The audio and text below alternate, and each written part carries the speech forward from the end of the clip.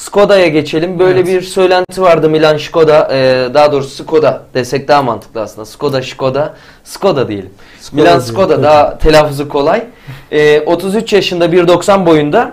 Bu sene 19 maçta 9 gol 4 asistlik bir performansı var. Çek Şampiyonlar Ligi'nde de 2 maçta forma giydi. Evet. Bu performans Çek liginde.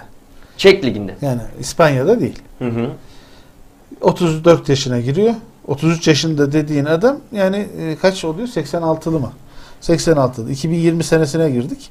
Artık 34 yaşında e, merdiven dayamış olarak ifade ediyoruz biz bu abiyi. E, hürmet ederim, saygı duyarım. Yani yaşlı başlı adam şimdi ne diyeyim ben ona?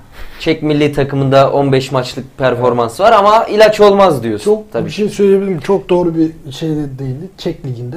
Milan Baroş buradan gitti. Hat-trickler yaptı. Hat-trickler yaptı. Goller attı. Gol krallığını oynayan bir Milan Baroş. Türkiye'de artık performansını tutturamayan bir Milan Baroş.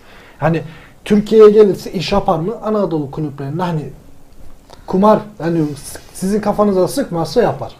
Ama e, rulette kafanıza mermi yediğiniz an artık takımı da karıştırır. Adapte olamadım der. bir de buradan şöyle bir şey, yani- Hani verdiğiniz maaşla kalırsınız. Stanko ve Sion'un performansı ortada.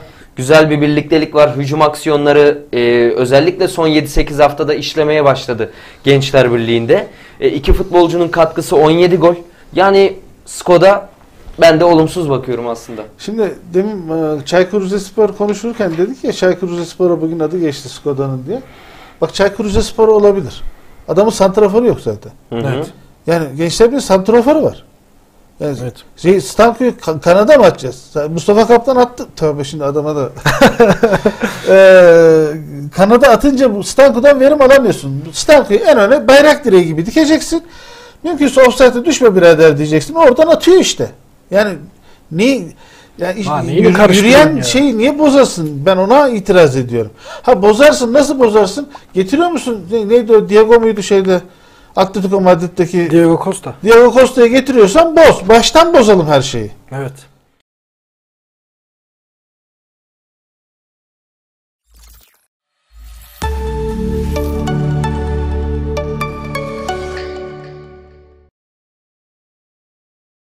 Milan Skoda'dan bahsettik ama o Skoda Gençler Birliği'ni yıkan isim oldu Rize'de. 2 gol attı. Evet.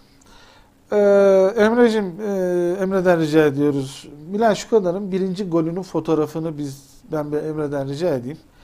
Milan Şkoda iki gol attı. Acaba hani şey e, video kayıt izletemediğimiz için izleyicilerimize.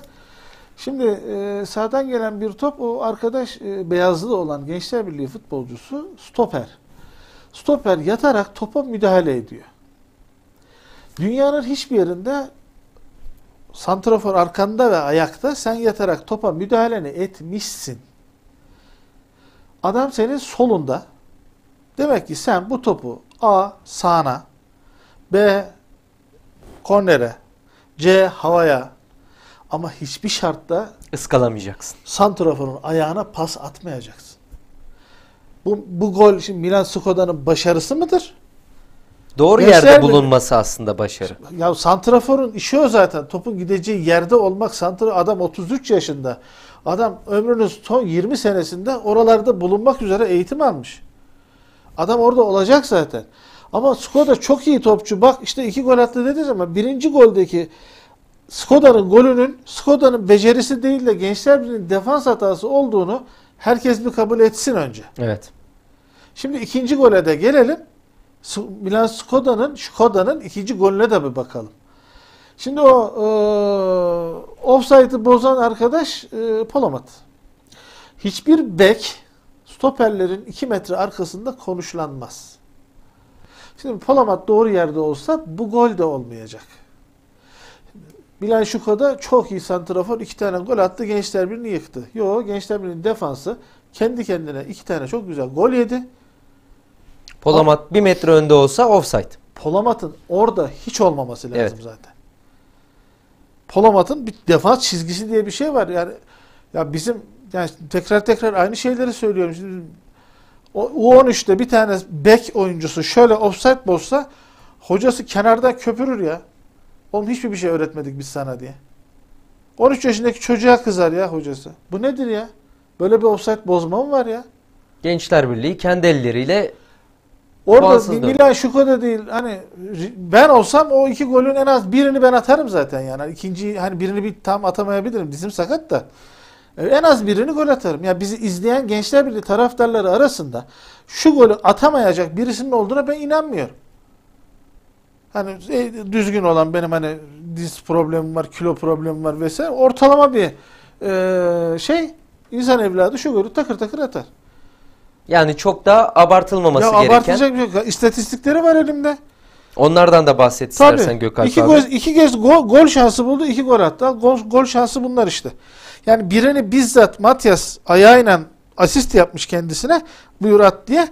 E, o da atmış. Öbüründe de Polamat sağ olsun offside'ı 2 metre kadar bozmuş. Offside'deki oyuncu aa bakmış ki offside değil. Kaleye vurmuş. İki kez gol şansı buldu. Bu iki gol attı. 25 kez pas verdi. %70 pas, pas ortalaması var. %80'in altı kötüdür. Bir orta yaptı. Başarısız. 13 top kaybetti. Şimdi biz ortalama top kaybını şöyle ifade edelim. Bir e, takımda top kaybı 70 ile 80 arasındadır. Bir oyuncu tek başına 13 top kaybettiyse santrafor sıfatıyla büyük rakamdır. İleride top tutamıyor demektir. Bu tutamıyor da demektir. takım adına büyük zarar. İkisi yarı sahasında. Şimdi Skoda'nın 2019-2020 sezonunda yani Gençler Birliği'ne gelene kadar olan sürede ortalama top kaybı 4.5 maç başına. Bu maçta 13. Bana diyorlar ki Skoda çok büyük topçu. Biz keşfettik sen keşfedemedin. 6 aydır futbol konuşuyorsun. Allame oldun. Bizim bilgimizi yiyorsun. Al allame. Bak rakamlar konuşuyor. Yani ben yani karnımdan konuşmuyorum. Rakamlarla konuşuyorum ben. Üstelik biz ne demişiz? Çaykur Rizespor takımına yarı yaşlı olabilir çünkü santraforu yok demişiz.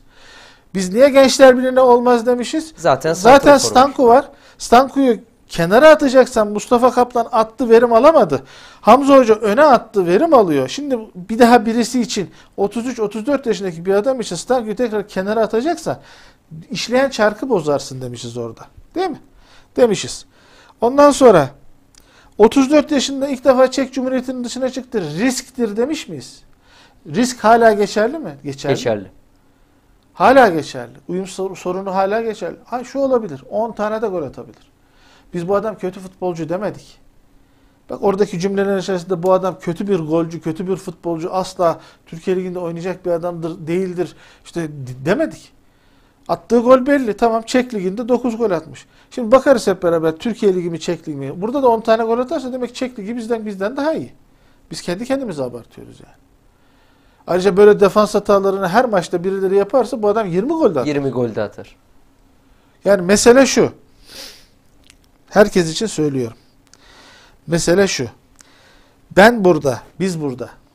Bu adamla ilgili ya bunun transferi çok da uygun olmayabilir derken ya kaynakları stopere harcamayın. Bak bizim elimizde bir sabek problemimiz var. Ahmet Oğuz geçen hafta oynadı. Bu hafta Erdem. o- bu hafta oynuyor. Bir de 19 yaşında Barcelona'dan e, şeylik bir stop. Onu da sormuşlar. Van Beynen nerede diyorlar Gökalp abi. Bilmiyorum kadroda yok. Ya nasıl olabilir zaten? Yani adam 2019-2020 sezonunda top oynamamış ya. Sahaya çıkmamış adam ya.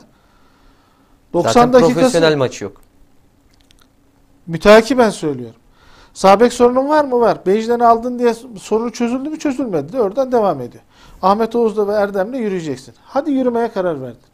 Takımda stoper yok kardeşim. Flav, Matias Flavio'yu kesti. Ben inanıyorum Alper Matias'ı kesecek. Alper de bugün kadroda yok gerçi. Diallo'yu almış kadroya. Ne Aynen. ihtiyacım varsa yani Diallo'yla ne işim varsa Hamza hocama da kızdım açık söylemek gerekirse. Daha ne Diallo'su ya?